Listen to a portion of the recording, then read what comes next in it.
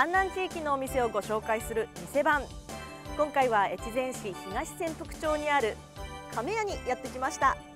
こちらは幅広い年代に人気のお蕎麦屋さんだということです。早速行ってみましょ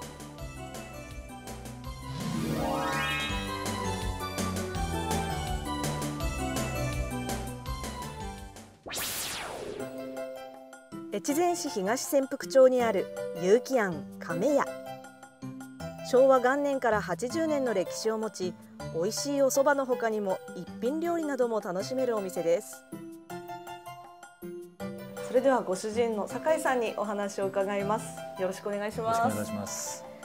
まずはじめにこのお店のこだわりを教えてください、はい、そうですね。あのいらっしゃいませと言ってお客様をお迎えしてありがとうございましたとお送りするまでがうちのお蕎麦の値段だと思っています、はい、味へのこだわりはもちろんなんですけどもお店の雰囲気といいますか接待も含めてやっぱり満足して帰っていただくのが一番だと思ってます。はい、店員さんが皆さん明るくてね、はい、あのアットホームな雰囲気が伝わってきますね。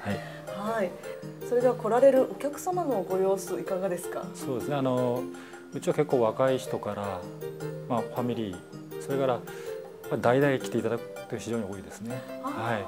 親子代々。はい。あのあの親御さんが小さいお子様連れてこられて、そのお子様が大きくなられて結婚されてそしてまたその自分のお子さんを連れてというそういう方が結構いらっしゃいます。はい。いかがですかそういうお客さんご覧になって。いや非常に嬉しいですね。はい。まあずっとあのそういうお客さんに愛されていると、そう非常に嬉しいです。はい。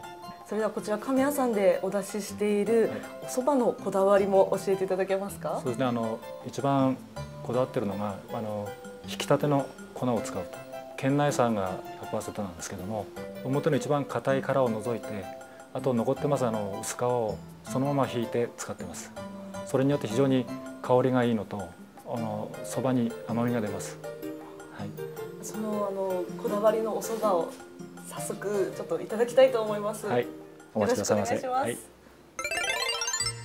それではこだわりのお蕎麦をいただきたいと思います。はい。電話しになります。どうぞ。すごく美味しそうですね。ありがとうございます。それではいただきます。今回ご用意していただいたお蕎麦は天おろしそば。亀やこだわりの二八そばに辛めの大根、エビ、ナス、ししとうの天ぷらが乗った人気の一品です。ではいただきます。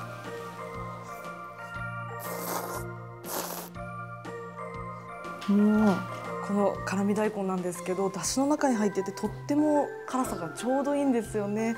でそれにこのお蕎麦の風味がマッチしてとっても美味しいです。それからこの天ぷらもねいただきましょう。美味しそう。うん熱い。もうサクッと。とっても天ぷらも美味しいです。その他にも亀屋ではお酒に合う一品料理を取り扱っていたり生そばのテイクアウトなども行っています。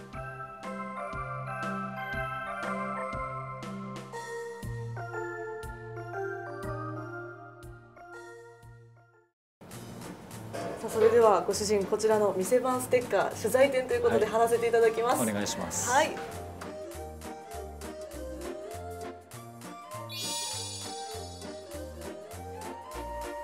皆様のご来店お待ちしております。お待ちしております。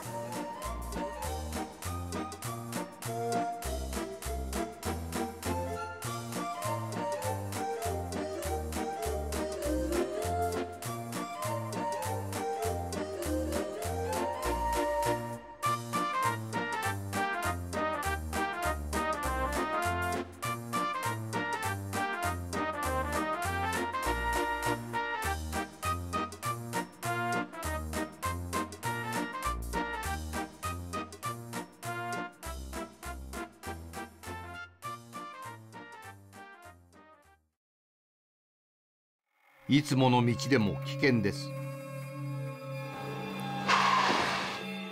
高齢歩行者の交通死亡事故は自宅近くで起きています。